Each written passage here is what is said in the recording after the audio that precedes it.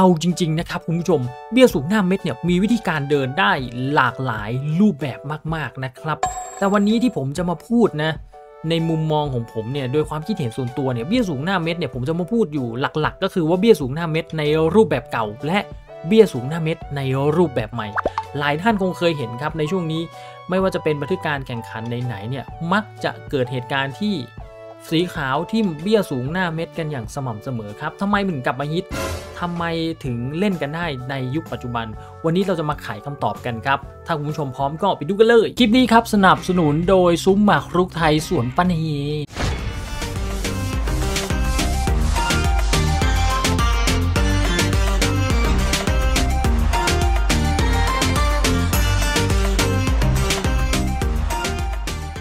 เบี้ยสูงหน้าเม็ดนะครับมันก็มีประวัติความเป็นมาตั้งแต่ในอดีตจนถึงปัจจุบันและผมเชื่อว่าในอนาคตเขาก็ยังเล่นกันอยู่ ในสมัยก่อนเบี้ยสูงหน้าเม็ดเนี่ยอาจจะมองว่าเป็นหมากที่แทงขึ้นไปแล้วเนี่ยโดนแก้พอโดนแก้เสร็จเป็นรอง เป็นรองเสร็จก็มีแต่เสมอกับแพ้แต่ในยุคปัจจุบันครับเบี้ยสูงหน้าเม็ดเนี่ยส่วนใหญ่ก็จะแก้กันเพื่อเสมอ แล้วก็ยืนพื้นเสมอ แต่ต้องเดินให้เป็นนะเอาล่ะครับคุณผู้ชมมาดูกันเลยครับเบี้ยสูงหน้าเม็ดเนี่ยเกิดขึ้นได้อย่างไรนะส่วนใหญ่เบี้ยสูงหน้าเม็ดจะถูกใช้ในกรณีที่ เป็นหมากม้ายงขวา แต่ไม่ใช่ว่าม้าเทียมก็เล่นไม่ได้นะครับ แต่เงื่อนไขมันเยอะ ซึ่งการเดินเป็นม้ายงขวาเนี่ยมันทำให้การเดินเบี้ยสูงเนี่ยมันมีความปลอดภัยกว่า เพราะมันมีม้าหนึ่งตัวที่มาผูกเบี้ยด้านบนเอาไว้นะครับ อันนี้ผมจะสาธิตวิธีการเดินให้คุณผู้ชมดูฝ่ายตรงข้ามเนี่ยเขาก็เดินม้ายงขวาเหมือนกันเราก็เดินหมากม้ายงขวานะครับเบี้ยสูงหน้าเมตรเนี่ยเขาจะทิ่มขึ้นไปในลักษณะนี้เป็นต้น ทิ่มขึ้นไปเสร็จเนี่ยฝ่ายดำนะครับ ถ้าแก้ผิดเช่นไปไปกินอะไรเงี้ยตรงเนี้ยก็จะกลายเป็นเบี้ยสูงถาวร วิธีการแก้เนี่ยส่วนใหญ่เขาจะไม่ค่อยกินก่อนเขาจะหลอกล่อให้ฝ่ายตรงข้ามเนี่ยกินออกไปเอง อย่างเช่นอะไรประมาณเนี้ยฮะหลอกล่ออะไรเงี้ยครับก็กินออกไปเองเพื่อให้เสียเปรียบทรงเบี้ย แต่ช้าก่อนนะครับหลอกล่อแบบนี้มันง่ายเกินไป มันจะมีวิธีการหลอกล่อที่เป็นการบังคับนะ เดี๋ยวเราค่อยๆไปดูกัน วันนี้ผมปูพื้นฐานให้ด้วย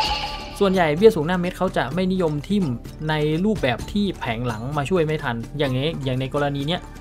จะไม่ค่อยนิยมทิ่มเพราะว่าโอกาสที่จะเสียฟรีมันมีสูง ก็ต้องไปกันเป็นทีมนะครับ ส่วนใหญ่เขาก็จะเดินเม็ดขึ้นขึ้นมาก่อนนะฮะ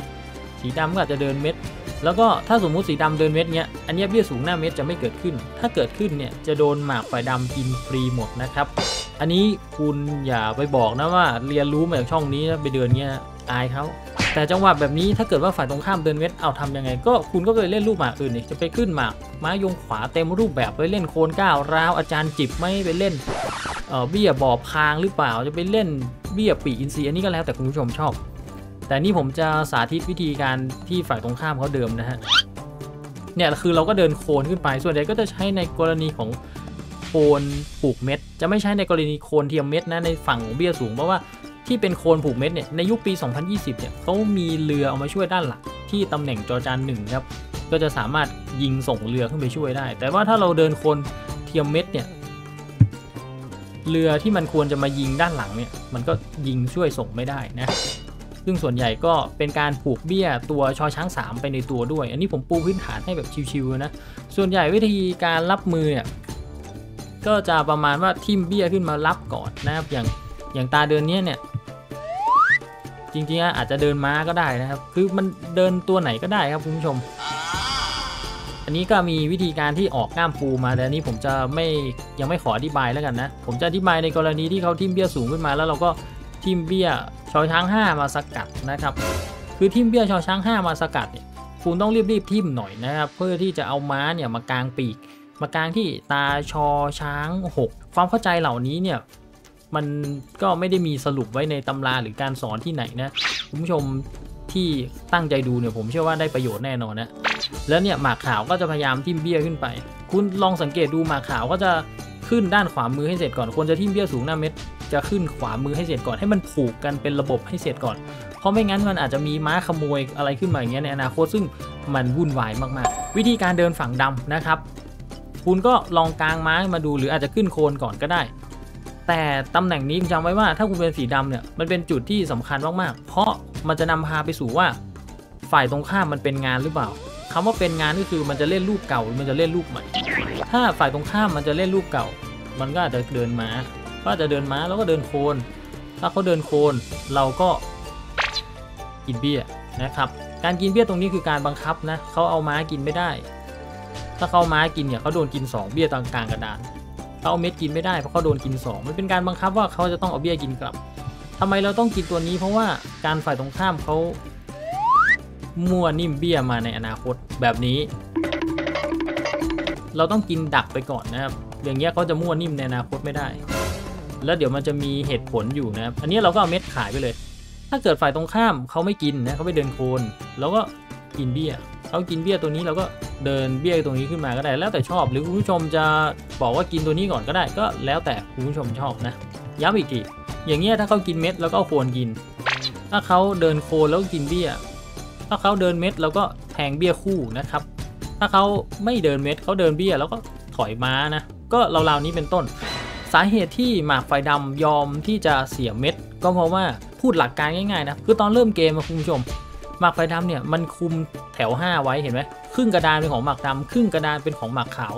ผมตีซะว่ามันคือบ้านหลังหนึ่งแล้วกันสมมุติหมากไฟขาวมันมันลุกล้ำอนาธิปไตยของคุณเนี่ยเวลาใครมาเหยียบย่ำหรือมายึดพื้นที่บ้านคุณคุณชอบไหมผมเชื่อว่าหลายคนคงไม่ชอบนะแล้วไม่ใช่พวกซาดิสเพราะไม่ชอบเสร็จพอโดนยึดบ้านเราเดินยาก พอเดินยากเสร็จโอกาสที่คุณจะเป็นรองมันมีค่อนข้างเยอะเพราะว่าตำแหน่งของคุณเนี่ยมันถูกบีบบังคับด้วย ด้วยหมากฝั่งตรงข้ามอย่างเงี้ยโคนขึ้นไม่ได้ มากขึ้นไม่ได้ มันเลยต้องมีวิธีการที่เอาหมากเนี่ยมาขายมาเส้นไหวเพื่อที่จะซื้อเบี้ยสูงตัวนี้ออก เพื่อที่จะเดินไปต่อแต่การเส้นไหวตรงนี้มันไม่ใช่ว่าจะเอาเม็ดไปเส้นไหวได้ตลอดเวลา เพราะการเส้นไหวตรงนี้มันมีเงื่อนไขอยู่ก็คือเม็ดฝ่ายตรงข้ามต้องไม่ได้ใช้ อย่างรูปเนี้ยเขาใช้ไม่ได้เม็ดออกไปไหนไม่ได้ เลยเส้นไหวได้เห็นปะแต่มันจะมีอีกรูปแบบหนึ่งที่เป็นเบี้ยสูงหน้าเม็ดในรูปแบบใหม่ที่กำลัง ฮิตฮอตอยู่นี้ก็คือว่าฝ่ายตรงข้ามเนี่ยเขาเดินโคนมาจุดประสงค์ชัดเจนของการเดินโคนตรงนี้คือเบี้ยสูงหน้าเม็ดทรงใหม่จะต้องเอามาที่ตำแหน่งงองู 3 อย่างรวดเร็วทำไมเหรอเพราะเอามางองู 3 อย่างรวดเร็วคุณบอกคุณกินโป๊ะถ้าเขาเบี้ยกินตรงนี้จบไปไม่มีอะไรเขาเอาโคนกินตรงนี้จะเป็นอีกเรื่องหนึ่งเป็นอีกงานหนึ่งเลย คุณเอาเม็ดแทงก็กินกินเออแล้วเขาก็ทิมเบี้ยมั่วขึ้นมาอย่างเงี้ยฮะนี่คือวิธีการเดินในรูปแบบใหม่ เพราะอะไรเพราะสุดท้ายเนี่ย เม็ดฝ่ายตรงข้ามจะได้ใช้ มันไม่เหมือนกันนะ ไม่เหมือนกัน รูปนี้คุณสามารถไปเรียนรู้และหาซื้อได้ในตำราของสุดยอดเซียนนกกระจิบเล่มที่ 1 แอบขายของนิดนึง แต่ช่วงนี้ผมไม่ค่อยแนะนำเล่มนี้ เพราะว่ามันไม่มีขายมันหมด เดี๋ยวถ้ามันมีขายจะแนะนำอีกทีแล้วกันนะ เดี๋ยวก็จะมาโพสต์ให้ใน Facebook Fanpage นะ แต่ตอนนี้มันไม่มีขาย ก็เนี่ย ทิมเบี้ยมั่วขึ้นมาเม็ดฝ่ายตรงข้ามก็จะได้ใช้ มันเลยเกิดวิธีการแก้อีกรูปแบบหนึ่งขึ้นมาไงคุณผู้ชม วิธีการแก้นั้นก็คือแทงริมเนี่ยครับวิธีการแทงริมเนี่ยส่วนมากก็จะใช้ในกรณีที่ฝ่ายตรงข้ามก็เดินเป็นทรงใหม่เนี่ยก็จะเกิดเหตุการณ์แก้รูปแบบนี้ขึ้น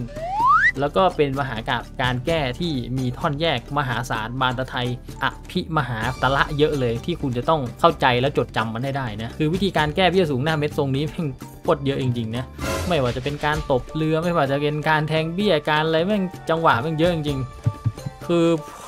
ขี้เกียจจำเอาจริงๆนะ